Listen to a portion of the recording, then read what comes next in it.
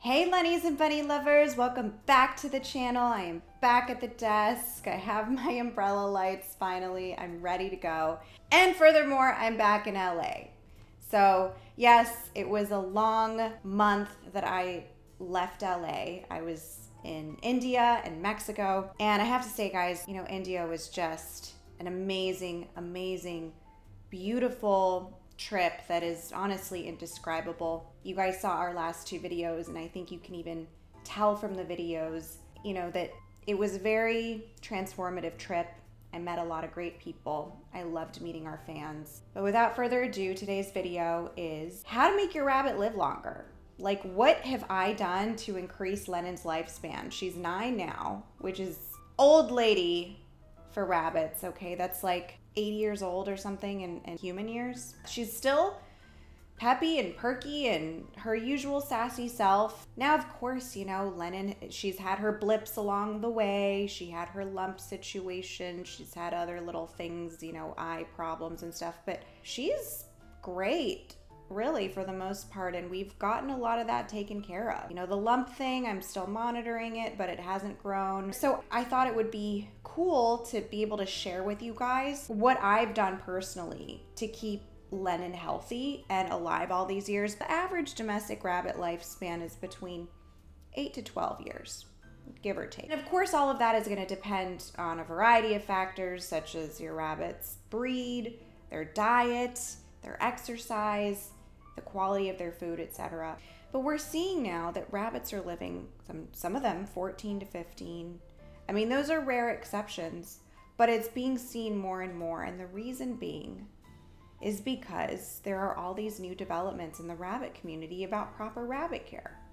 See, 30, 40 years ago, when rabbits were being kept in tiny cages and being fed carrots all day long, they were only living two to three years. They developed a reputation for being not very reliable animals, maybe just like starter pets for your kids.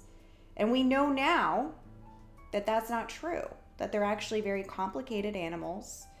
They can live as long as a dog can, and they require a lot of maintenance. So, here are my top secrets for a long, healthy rabbit life. So, the first thing I do is I keep Lennon active. I would say in the past three to four years, she's slowed down significantly in the sense that she's not really running around doing binkies, sprinting across the room, being as hyperactive as she once was when she was a young adult or a baby. We don't want your rabbits to always be inert and lazy and then they're gaining weight and then they're obese and then they've got all these other issues. So one little trick that I do is I grab a treat and yes, she knows exactly what a treat is. I ask her if she wants her treat and she will sprint across the room for that treat. And then I'll do the same thing at the opposite end of the room and kind of go back and forth so that she's now doing laps around the room. And some of you may say, oh my God, that's so mean, you're teasing her. I'm really not. I mean, it, I'm making her work for the treat a little bit, which is fine. That's like how it should be, you know? Because you don't want your rabbits to just become obese. Okay, the next trick is that I feed her three meals a day as opposed to one or maybe two, which I think is like what most people do. I could be totally wrong on my theory, but I really do believe that dispersing the food into three meals a day again contributes to the mobilization of her gut. Also, what I like about this schedule too is it activates her three different times a day as opposed to just like the one day feeding which i don't know if it were me like i would be starving. I can't do that. Some people really only feed once a day. I don't i don't know how they do that. The next trick here is that she free roams and this has been our bread and butter her whole life and this whole channel is about that. I really believe with every fiber in my being that her being a free roamer has really contributed to her long life as well because they've got to be able to jump and hop and run and sniff and explore. That's just who they are as animals. And so when you strip that away from them, not only are they not getting the exercise they need, but it affects their mental health. Just like humans, if if our mental health is not well, well, we're less likely to live as long, you know, we're going to develop all sorts of issues. And the same goes for them. So, a free roaming bunny is a happy bunny, and a happy bunny is a healthy bunny. Next, we have lots of affection. Lennon gets so much love and pets and affection from me. I, I talk to her every day, all day long. I cuddle with her. She gets whatever she wants whenever she wants for the most part. And I also believe with every fiber in my being that this has really contributed to her health, her mental health. This has been scientifically proven, actually. It's not just my own anecdote.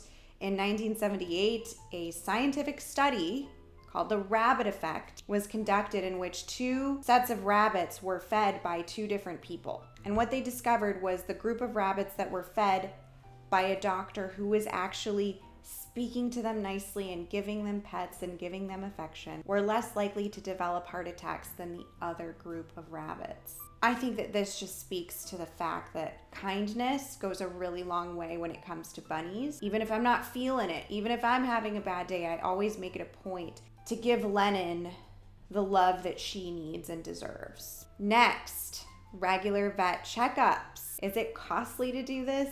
Absolutely. Is this one of my least favorite things to do? Absolutely. I would say in the past like four years is when Lennon started getting regular checkups because she goes in for her annual RHDV2 vaccine as well. And she gets all the things done blood work, x rays, dental, etc.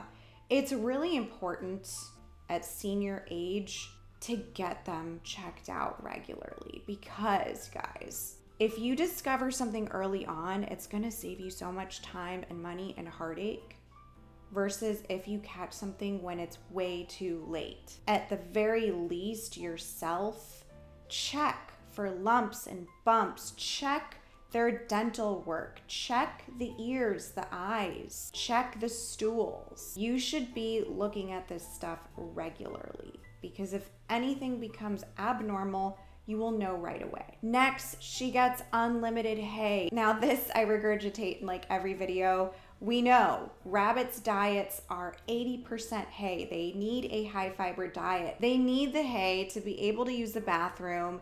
It prevents GI stasis. That's like the number one like reason you should be giving your rabbits hay. If you don't want them to go into stasis, then just keep it replenished. And sometimes she herself will ask me for a refill. She knows when she's low on hay and she comes and finds me, you know, lures me over to the litter box with her cuteness. And she just like looks at the hay box and she's like, Are you gonna refill it or what? I mean, the rabbits are very, very smart. Not just that, guys, but you know, the hay keeps the teeth trimmed. That's another thing. It's huge, especially for rabbits who are susceptible to all these dental problems. And finally, guys, I give Lennon water in a water bowl. I don't use a water bottle.